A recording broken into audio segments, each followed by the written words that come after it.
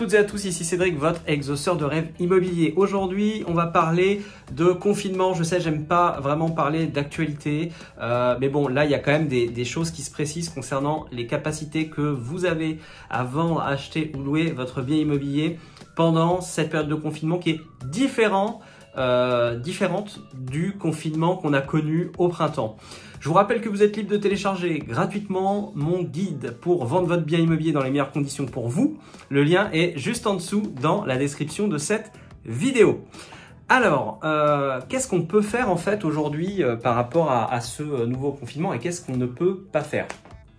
Si vous êtes vendeur, sachez que vous avez la possibilité de faire intervenir à votre domicile un conseiller immobilier. Les agents immobiliers, les conseillers immobiliers ont la possibilité de se déplacer chez les vendeurs pour faire des estimations, pour faire des prises de vue, de photos, de faire des vidéos également euh, et de signer un euh, contrat de mise en vente euh, auprès d'une agence immobilière. Ça, c'est tout à fait autorisé. Euh, si vous êtes, euh, par exemple, euh, alors je vous invite d'ailleurs à, me poser toutes vos questions dans les commentaires si vous êtes actuellement dans l'une de ces situations que vous souhaitez vendre, acheter ou louer un bien immobilier.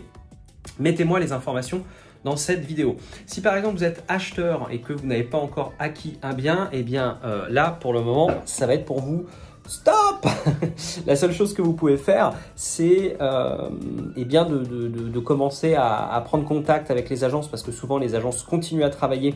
Donc prenez contact avec les cabinets immobiliers et euh, voyez ce qu'il est possible de, faire ensemble. Euh, mais en général, donc ça va être des visites virtuelles. Par exemple, si les agences immobilières ont fait des vidéos des biens immobiliers, vous allez pouvoir les regarder. Mais vous ne pourrez pas visiter, aller chez les propriétaires. Ça, c'est strictement interdit.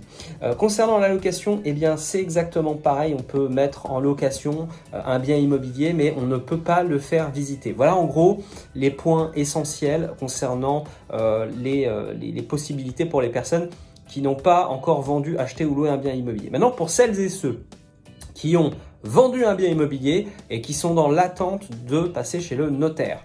Sachez que les notaires sont actuellement en train de mettre en place des systèmes de signature à distance des signatures électroniques. Donc on attend un peu plus d'informations. Là au moment où je fais cette vidéo, nous sommes le 31 octobre.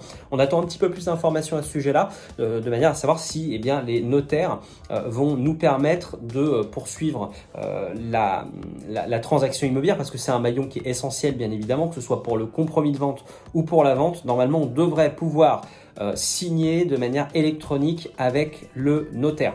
En ce qui concerne maintenant les euh, déménagements, si par exemple vous avez vendu votre bien immobilier et que par exemple eh bien, vous devez libérer les lieux le 15 novembre, euh, date à laquelle on sera très probablement encore en confinement, eh bien, euh, il y a des dérogations qui sont possibles euh, pour pouvoir effectuer votre déménagement. Donc, vous allez pouvoir logiquement signer votre euh, transaction immobilière chez le notaire et vous allez pouvoir également eh bien, déménager, bien évidemment en, montrant, en prouvant que voilà, vous, vous êtes bien en train de déménager et avec une attestation. Bon, écoutez, je pense que j'ai à peu près fait le tour.